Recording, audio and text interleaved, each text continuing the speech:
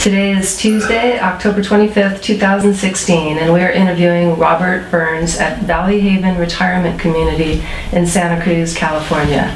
My name is Jean Zarnicki, David Addison is recording, and Julie Richardson will be indexing the finished video.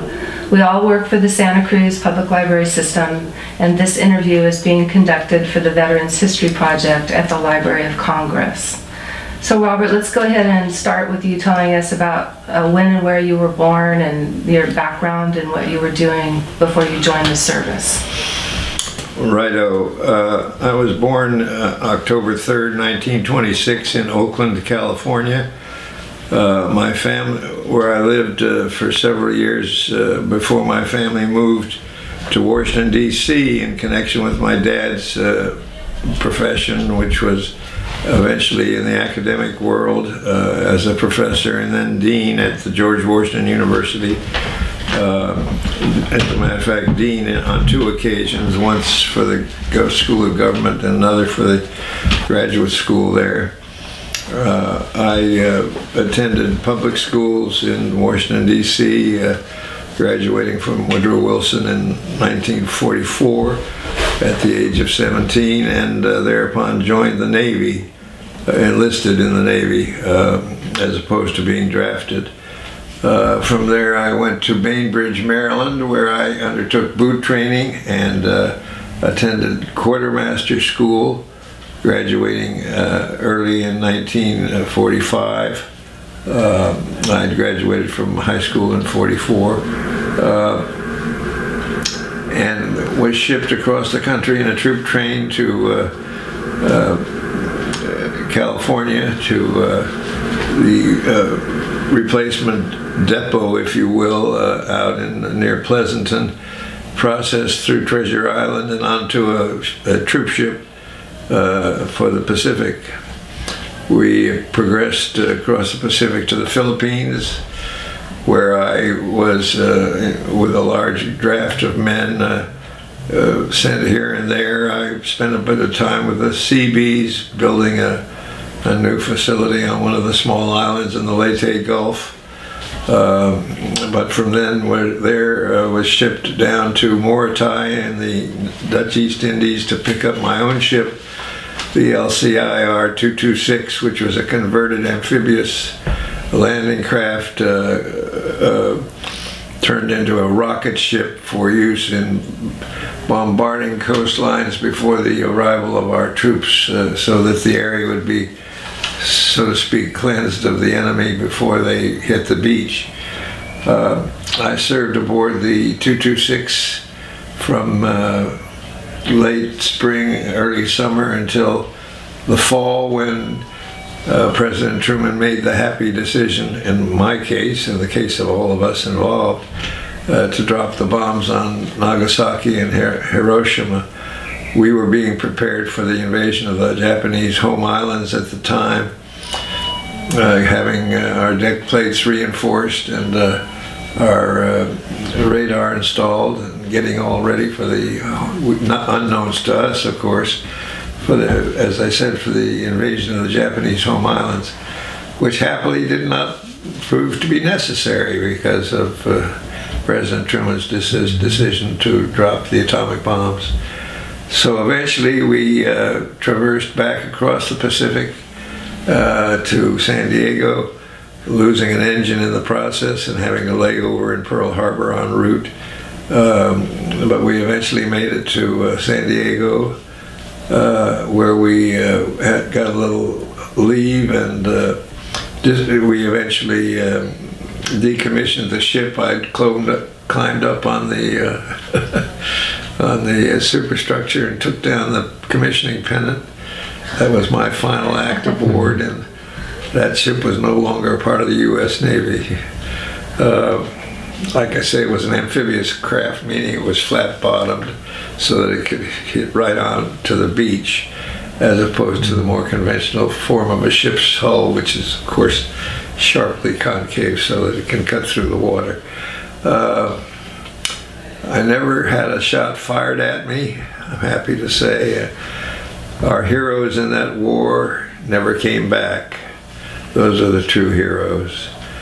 a lot of Marines lost their lives on the islands of the Pacific. Uh, uh, and a lot of Navy personnel too, but the Marines took the brunt, of it. Of course, uh, the European War was essentially Europe, uh, an army war, whereas the Pacific was an amphibious war going from island to island. And, uh, the Marines did the uh, heavy lifting in that regard. Uh, I, I uh, was discharged from the Navy in the summer of 46. Uh, I had taken a, just a semester of college before I had enlisted in the Navy two years earlier. So then I recommenced my uh, college uh, work at George Washington University in Washington, D.C., uh, graduating in 1949, following which I uh, volunteered for a commission in naval intelligence, which I received a little later and was in Naval Intelligence Reserve Officer for 10 years from 1950 to 1960. Uh, I was never called to active duty during that period, I suspect because working for the Department of State as I began to do upon graduation from college in 49 uh, and made a career in the Foreign Service uh, actually. Uh, I was probably looked upon as somewhat exempt from being assigned to military uh, duty as opposed to the work I was doing at the Department of State. Uh, I think I've just about summed it up there. Well, let's back up a little bit. And um, were you were you able to to keep in touch with friends and family back home while you were serving? Uh, by letter, yeah, Okay, yeah. Okay. Uh-huh. And did you have any uh, R and R? Did you what what you know what did you do in your your rest time, or were you able to travel anywhere else? No, we, I mean, you'd get weekend liberties, but depending where you were, that was pretty limited. I mean, you were, you were checked out uh, at the close of duty on Fridays and reporting in on the beginning of duties on Monday mornings. So, depending where you were, you, I mean, if you were overseas, it was academic, but if you were stateside, uh, you were limited pretty much by less than 24 hours of time. So, no, we didn't do anything. I, I, I didn't do anything extensive in that regard. Although I had family here in California that I did visit with while I was uh, uh, awaiting assignment abroad uh, when I was posted out in uh, near Pleasanton at uh, the name of the base escapes me. I should remember it, but I don't. Uh, it was, uh, a matter of fact, the remnants of it I think are still used as the Santa Rita Jail out there in in, uh, in the county. Um, strangely enough, it was a massive base, as you can imagine, for replacement personnel for the entire Pacific. I mean, it had many thousands of personnel processing through there. I was there for a few weeks and visited with my uncle and his family while I was here. Uh, he would pick me up on the weekend and uh, take me to the uh, one of the family uh, residences there in the Oakland Walnut Creek area. Uh, but aside from that, no, I, we didn't. I didn't have any extensive uh, travel. And, and during your training, did, did you have any you know special training or Yes, I went to, as I said, I went to quartermaster school at Bainbridge, Maryland, following my uh, boot camp uh, assignment there. Uh, Bainbridge was located at the entry of the uh, Susquehanna River into northern Chesapeake Bay. The winters were pretty tough. I would say uh, about as tough as you can get in those days. Lots of snow, lots of ice, and uh, I managed to contract uh, acute pharyngitis and was hospitalized for a bit during that period as a consequence. Uh, it was it wasn't the healthiest spot to place a military installation, but in those days people didn't have choice. Uh, I think I have some photos. I don't know if you want to stop the film here Uh, what. no, we can uh, we can add those in the film. Yes. Yeah. All right, I've got so we can we can, we, we can got- talk about them. I've We got a photo here of my, uh, here it is, I, I, it's, it's described at the bottom, whatever it is, This one here. what's it say there? Hold that up there. Is that hold it good? down a little bit. Yeah, there we go. Perfect. Can you read what it says? Uh, Can you read the print at the Let bottom? me see here. Yeah, there we go. Yeah, that's a great. So you're in there somewhere, right? Yeah, You got a I place for you. think the upper Yeah. right-hand You can get side, to middle of the, yeah. of the row there So- somewhere. Quartermaster School. Oh, that's the Quartermaster Yeah, All right. U.S. Naval Training Center, that's- Bainbridge, Maryland, Yeah. March 19. I'm unfamiliar with what quartermaster school is. Can you explain a little bit about that? Quartermasters uh, are the navigators slash communicators, record keepers of the uh, ships that they are assigned to.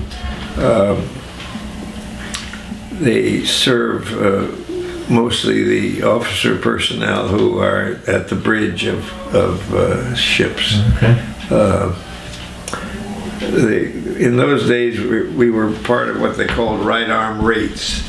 Right arm rates dealt with the personnel who, uh, who, whose jobs were if on the deck or above, so to speak. Left arm rates were the those who served beneath the decks, like electricians, engineers, uh, etc. The uh, that was the differentiation between right arm and left arm rates. I just learned here, just within the past week, that the Navy is being reorganized and they're going to do away with that differentiation, then they won't they won't make it anymore. But that's the way the old Navy was organized. Anyway, there we go. So shoot me with questions if you So, well, like. tell, tell us about the specific duties that were involved when you were serving. specific duties. Uh, Perhaps the most important duty I had was keeping the ship's log, which uh, dealt with how a 24-hour period uh, was uh, proceeded during, aboard ship. uh, What occurred of any significance during that period of time, when it occurred, as briefly as possible describing what it was that occurred. It's the history of the ship, the ship's log. Uh, and then in addition, you, you assisted in uh, uh, maintaining and ob- obtaining uh, maps uh, that the uh, commanding officer or his assistants uh, could might need in the course of charting the, co- the course of the ship, uh, where it was going and when and under what circumstances. Uh, in addition, we were to, supposed to also have a capability to communicate, which is ordinarily the signalman's job, but we were there to participate as required or needed. Um, that pretty well sums up the quartermaster job. And when, when you were returning, when you returned home, how, how was it readjusting back to civilian life? Uh, I didn't have much time to adjust because I, it wasn't long thereafter that I returned to college. Uh, my dad, as I think I mentioned earlier, was an academic. He was a professor of economics and then a dean uh, twice over uh, at the university, at George Washington University in Washington, D.C. Uh, so there was not a lot of time to play around, unquote, so to speak. Um, I pretty well returned to my to studies uh, uh, following my uh, uh, release from the Navy, which was for I was I was in the Navy for roughly two years, from the summer of '44 until the summer of uh, 46.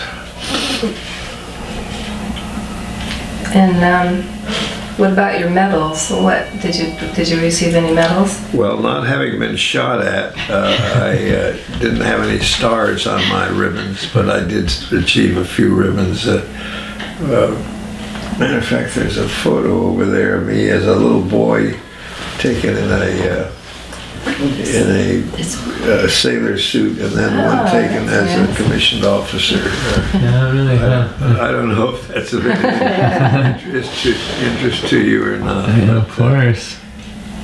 That was sent me uh, by uh, a friend who, I'm a member of uh, several veterans organizations here, the American Legion, the uh, Veterans of Foreign Wars, and also the uh, Military Officers Association local chapter. And uh, one of the members thereof uh, did up that little card uh, of mine. That's nice. I don't know what else there is you might be interested in. I'm curious about what you studied in college and what qualified you to be an intelligence officer. What were they looking for? Uh, They were looking for college graduates who had uh, taken courses that might be germane to doing intelligence work. Uh, In my case, I was an econ major with uh, minors, if you will, in history and political science. Uh, And entered the department shortly after graduating in, uh, from college in 49 and uh, retired from them uh, the first of the 31st, I guess, it was the, of January 1946. Not 46, sorry, 76. So you- this was the Cold War era? Well, oh, that was, I'm, I'm sorry, I'm mixing up my Foreign Service career with my Navy career. Uh, the Navy commission I held uh, from 50 to 60 uh, ended up uh, with at the exalted rank of uh, lieutenant junior grade. uh, so it's, So when you went to college, did you know that you were going to re-enlist and go back in as an officer? Oh, I was, that- uh, when I returned to college, uh, the last thought in my mind was having anything to do with the Navy. Uh, I had had, uh, I had had a sufficient uh, fulfillment of my Navy interests uh, at that point. But uh, later on, I said to myself, wait a minute. I, and I think it was also because of an acquaintance of mine who said, uh, why don't you join the Naval Reserve and get a commission. They're looking for qualified officers to be in the reserve. And I said, well, maybe I will. So and that's what I ended up doing. Mhm. But I always, I always sort of had navy blue in my blood. I, as a little boy, I can remember sitting up in the Oakland Hills, looking down on San Francisco Bay. In those years, this was the late late twenties, early thirties. Uh, the entire Pacific Fleet would come into San Francisco Bay. In those days, the fleet was not the size it is today, obviously, uh, and have a rendezvous, if you will. Uh, and at night, they would be all lit up, and during the day, they'd have their banners flying. It was quite a sight to look down upon. Uh, uh, and I can remember my, my family taking me out to uh, a tour of uh, at least one of the ships. I don't know which one it was or what type it was, but I was so impressed, being a little guy that I was then, uh, just a few years old. Uh, that impression stuck with me my entire life. I think uh, probably instilled a little bit of navy blue blood in me. I don't know uh, if that's the case or not, but could well be. Uh, so we, please uh, shoot me with questions. Well, the, I, I want to hear more about the, the area where you served and, and you know, the Uh, climate and, uh, all and right, uh, the Philippines was right, Philippines. was basically it. Although I did have that uh, trip down to Morotai in the Dutch East Indies to pick up my own ship. Uh, eventually, as I said, Uh, the Philippines, uh, when we were there, were very hot, very wet, uncomfortable. Uh, spent most of the time in the Leyte Gulf, uh, some of which was on small little islands, Tubabao, Manicani, uh, one of which was where the uh, Seabees were creating a new facility that I worked with as part of the workforce there.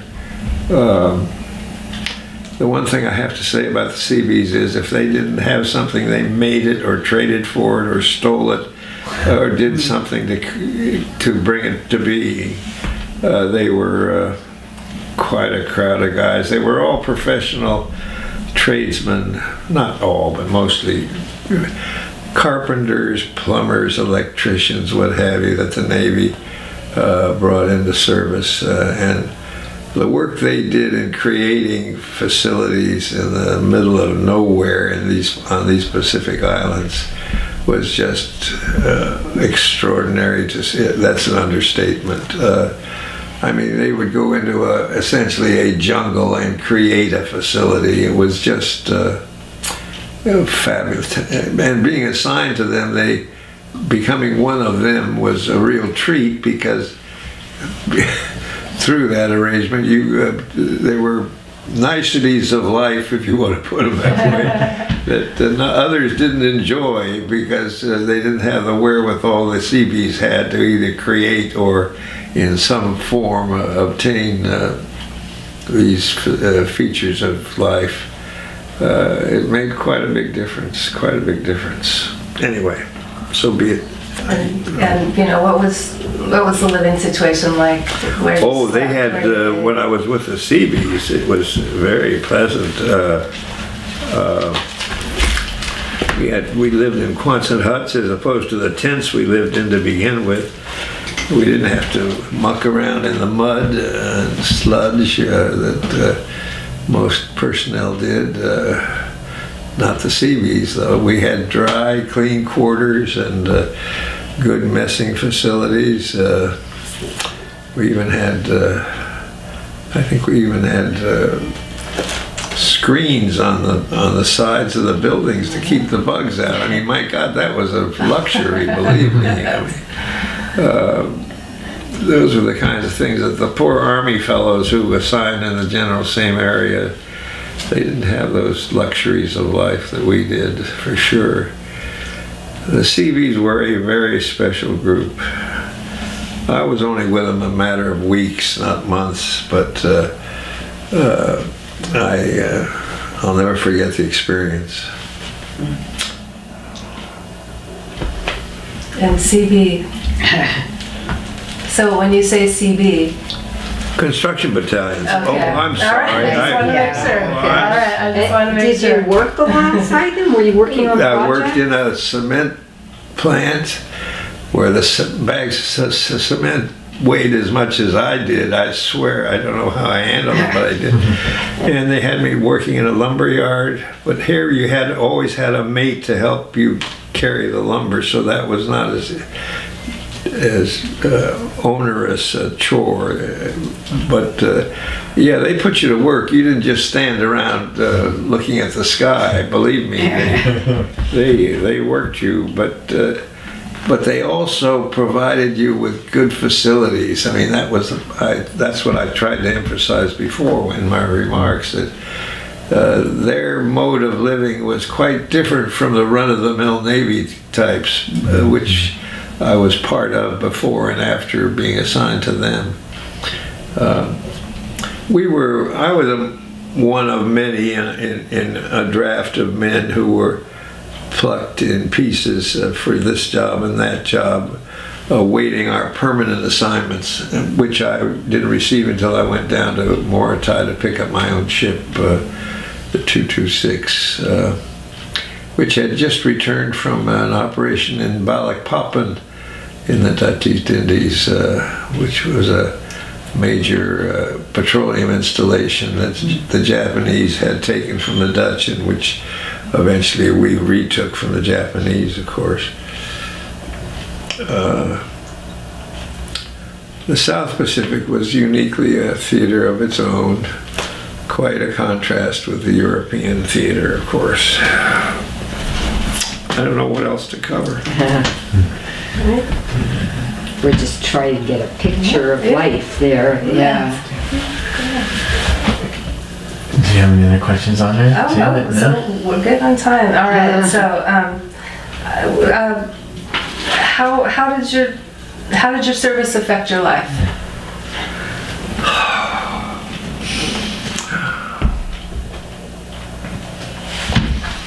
Oh, I would say it probably left an in- indelible mark on my bloodstream.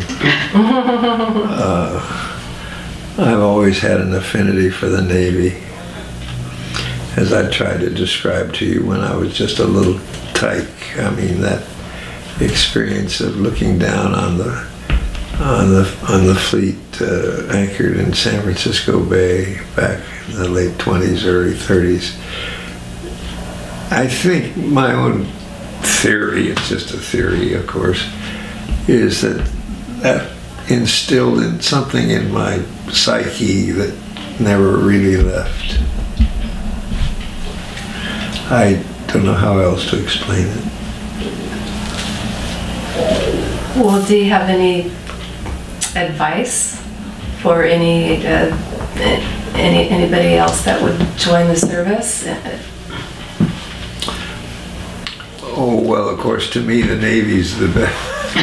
The Navy's up here and the rest of them are down Okay, here. that's, that's, I, uh, during my foreign service career, I uh, served uh, a few assignments as political advisor at uh, U.S. military commands, uh, once initially in France and later in Germany. Uh, and uh, there I would mix with a variety of, of course, different military types of person, uh, different military personnel of all services. Uh, so I got a pretty good inkling of uh, of all services, and so I think I got a pretty good appreciation of uh, the U.S. military and how it operates, and uh, it's uh, it's pluses and minuses. Let's put it that way. okay.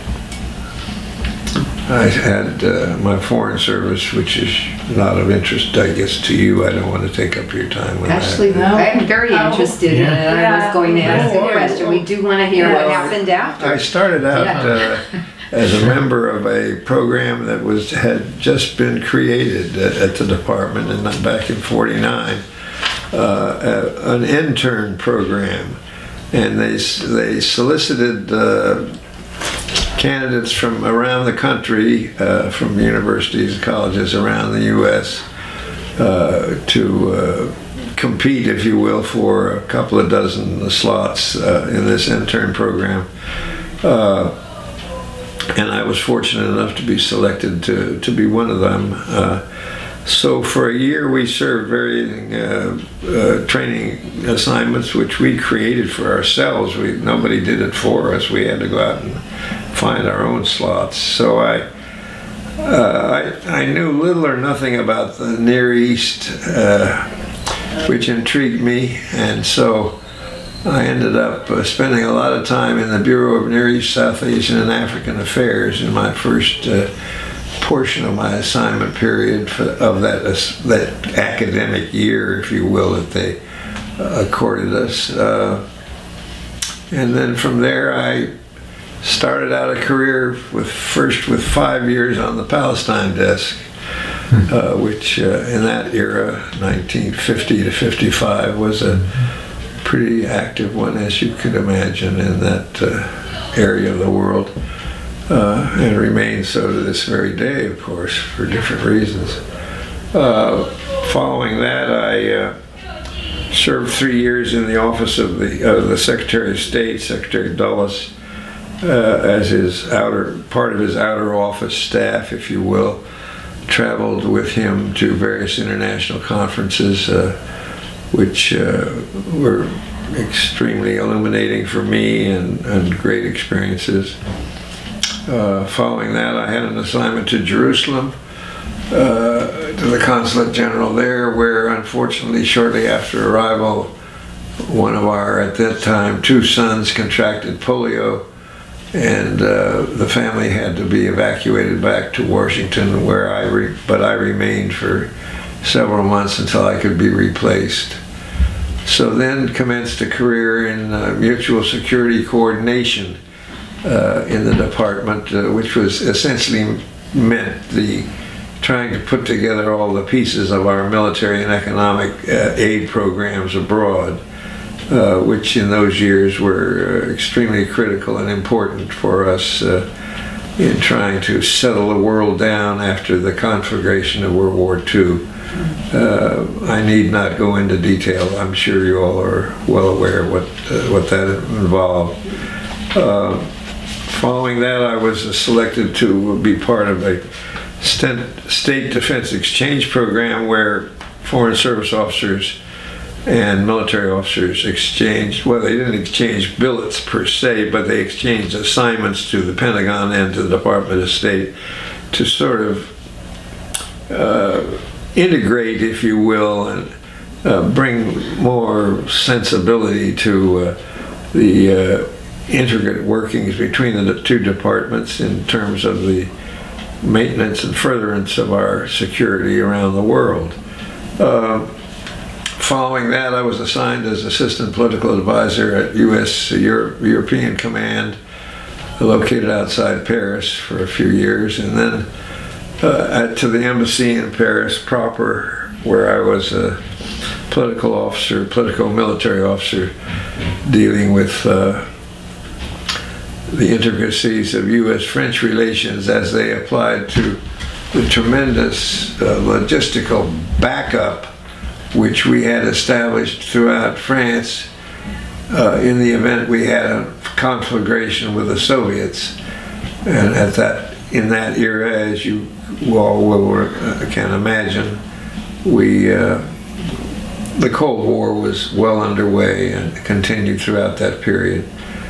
Uh, following that, I was assigned as the first political advisor to the commander of U.S. Air, Forces in Europe in Wiesbaden, uh, which was a illuminating and uh, very pleasant assignment, I must say. Uh, uh, gained great esteem for and, and, recognition of the roles the U.S. Air Force played during that period in Europe. Uh, following that, I went back to Washington. I was assigned back to Washington to uh, NATO affairs uh, for a few years, and then to the senior seminar, which was for uh, officers' uh, education for for their a better basic basic for them to work from as they moved along in the Foreign Service, which was a fabulous year, really, an academic year filled with uh, wonderful experiences, uh, exposure to the leaders of our land, both civilian and military, uh, and commercial too, uh, pure people who had made their marks on our society in the arts and letters. It was a, uh, remarkable year that uh, I certainly benefited greatly from uh, as a person. following that, I was assigned as a political counselor at The Hague in the Netherlands. and then ended my career as an assignment as political counselor at Wellington, New Zealand, at our embassy there and then resigned, retired, I should say. Mm-hmm. Uh, I, I figured at that juncture my family had gone through enough. Well, Just that's what I was about to gonna answer the ask. question about family. If you had a like we haven't family during that time, how did you travel around the world and have your family? we Did they come four. with you, or did we they? had four four children, four Wow. wonderful, wonderful children who uh, I like to think benefited greatly from their experiences. There are pluses and minuses to everything in life. Uh, Nothing is on the all on the up or all on the down, and and they had their uh, they had their share of both. But I think overall they they benefited. They really did, and. Uh, I am here now today, uh, living amongst three of the four of them. The fourth one lives most of the time in Singapore with his wife, but he's been here during this period of difficulty of mine where I was stricken by these odd bug bugs that decided to reside in my body, and so here I am. So I don't ended know. up in How, I, I don't know how more quickly or concisely to. Well, I'm really glad you included your, ser- your service overseas. That was amazing. Yeah, Yeah. that's very much pertinent and important, and um, Yeah. we're glad that you shared that. That sounds amazing. Uh, You you were all so over the much. place, and I was curious how, you know, being in the Navy and you know for World War II compares to the experience of traveling abroad, and how that influenced your perspective on our country and our military and what that means. And, and Well, that was a loaded know. question. Uh, Yeah. well, I think I think it expanded it tremendously. I think uh, it was a, uh, uh, a a critical foundation, if you will, because uh, as I said to the people who interviewed me before I was selected to be a part of that intern program at the department, the war really opened up this little guy that I was. Uh, to the fact that uh, the world around us uh, is filled with controversy and uh, uh, issues that uh, divide and conquer people. Uh, and we were living in part of that world. We were having to uh, cope with the problems of it and hopefully help contribute to the solution of many problems that existed around the world. Uh, well, what? Uh, how should I put it? Uh, perhaps what it did was uh, expand on the fact that we didn't live in isolation. We lived within a very composite, uh, complicated world. Uh, and of course, uh, the more I, the longer I served at the department and abroad, why, the more those realizations became recognizable. I, I hate to take your time up with. Uh, No, we're fascinated Yeah, by all of it. no, no, So no. many questions, but they are maybe a little bit, some of them outside of the scope of the, of the interview. But I'd love to see you write a book. Have you ever Yeah. written anything about your no, I haven't. I haven't. I. Uh, I've written a lot, but it's always been Yeah. Yeah.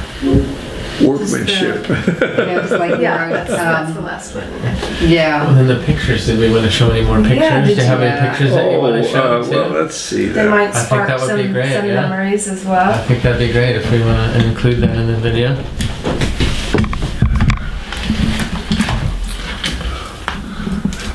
my first two decades. Well, now you got the picture of the uh, quartermaster class. Well, now I don't know. There, I should I should let you thumb through here and there. I was a cadet in high school, so there's a one or two pictures of me as a cadet. Uh, but uh, and here are some with the crew aboard the ship in the Philippines. Uh, I don't know if I had. Oh, and here are some when we returned to San Diego, where we eventually decommissioned the ship. the St. James Tavern. Well, now, okay. all right. There's a goodly batch of the crew there.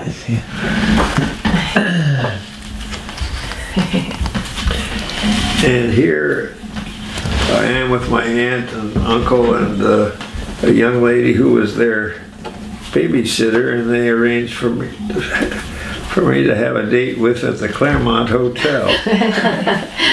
and Russ Morgan was playing at that evening, and he his wonderful, wonderful music. Uh, here's this was taken in Washington with uh, a young lady that I was dating at the time. Uh, after I, we returned, Washington. I was assigned to Anacostia briefly before I So here's some more of the crew. Berkeley, I've been there. Uh, when we were in San Diego before we decommissioned the ship. The Pirate's Cave.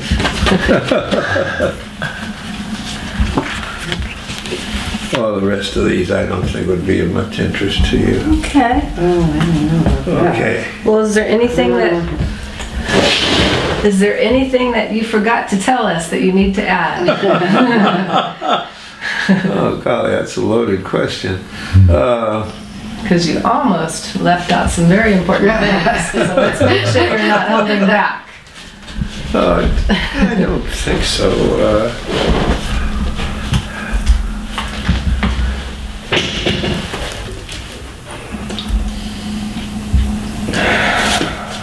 Were any of your children military? Did they? no, uh, none of them were so inclined.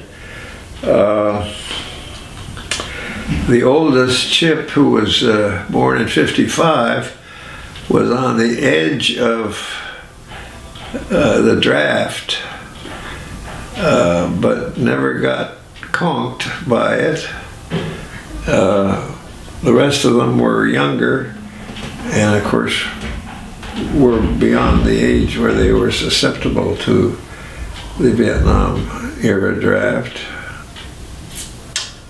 Uh, but none of them, no, none of them were were inclined uh, to go into the military. Uh, and of course, as you all, well, I'm dribbling on here. I don't know if you want to waste film. That's okay. Uh, as you all are aware, your generation is aware, Vietnam had a tremendous psychological impact on this nation. Uh, a negative one, unfortunately. Uh, it uh, it soured a large proportion of the young generation, the youngest portion of our generation, toward the military. And the poor souls who got uh, enveloped in the war, many of whom, of course, were, uh, we had the draft in effect in those days, as you'll recall, uh, entered not of their own volition, but because they were required to.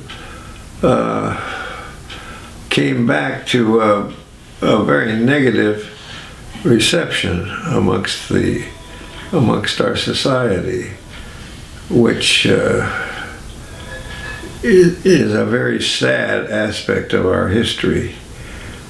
Uh, since we moved over here from uh, Santa Clara Valley some almost 20 years ago to our home in western Santa Cruz, uh,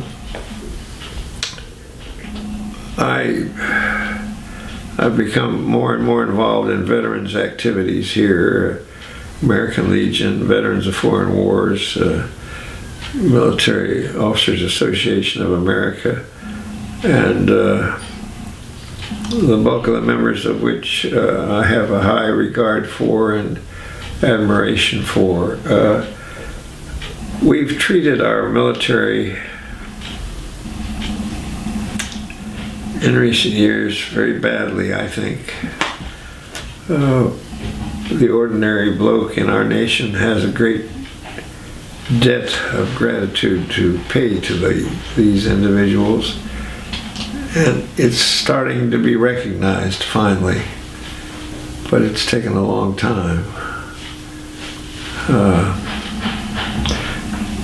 with that, I think I'll terminate my comments. Okay, well, thank you so much for sharing with us. It was, it was really great to hear all your details. and- Well, I'm, yeah, I